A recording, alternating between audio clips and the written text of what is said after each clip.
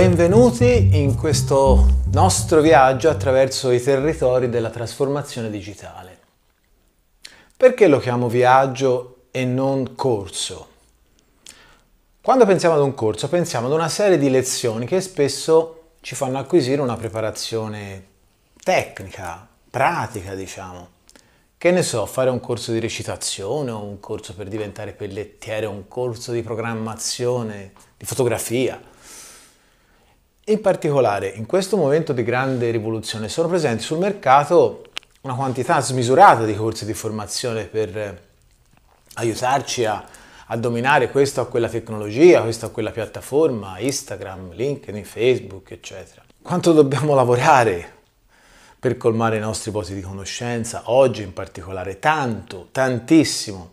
Insomma, l'offerta formativa di contenuti per questa o quella tecnologia, questo o quello strumento, quella o questa o quella piattaforma è veramente ampia, davvero ampia. Dal mio piccolo osservatorio mi è sembrato invece che fosse scarsamente presente un'offerta che avesse come obiettivo eh, quello di fornire un supporto, diciamo, all'orientamento per tutti coloro che hanno l'onore e l'onere di guidare i processi di trasformazione delle proprie imprese e organizzazioni in genere. Quindi non un corso dove si imparano degli strumenti, ma una specie di mappa eh, che prova a mettere un po' d'ordine nel complesso viaggio della trasformazione digitale.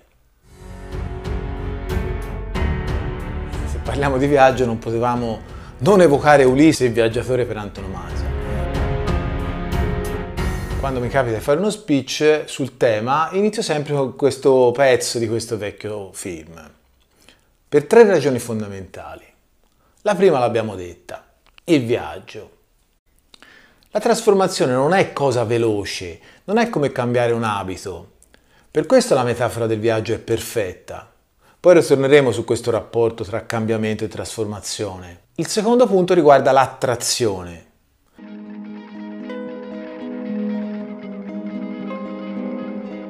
al pari del nostro Ulisse, diciamo, attratto dal canto delle sirene.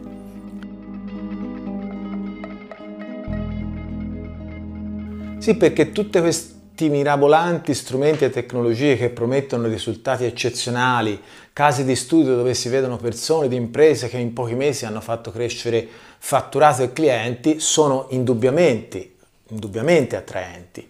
Basta essere innovativi, seguire qualche guru che ci raccomanda di uscire dalle zone di comfort e vai, via, il gioco è fatto. Come, come può non attrarre una prospettiva simile? Il terzo punto riguarda invece il sentimento di smarrimento, derivante dal fatto che le cose, diciamo, non sono proprio andate come ci si aspettava.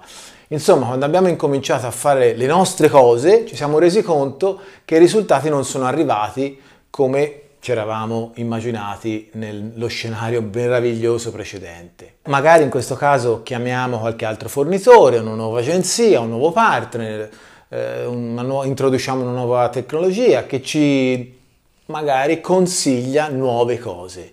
Magari c'ha pure anche ragione questa persona che ci consiglia nuove cose, ma non abbiamo strumenti per capire se ha ragione o se seguire questa nuova strategia, questa o quella strategia. Quindi smarrimento ed abbiamo la sensazione che la strada per, It- per Itaca sia ancora molto lontana. Bene, in questo breve viaggio che faremo insieme, in questo corso non corso, proveremo a darvi qualche strumento per aumentare la vostra capacità di orientamento. Non daremo ricette, ma butteremo per terra, come il pollicino della, della favola, qualche minuzzola di pane per aiutarvi a trovare o forse meglio a ritrovare la strada eh, per lo sviluppo felice della vostra impresa nell'era della trasformazione digitale.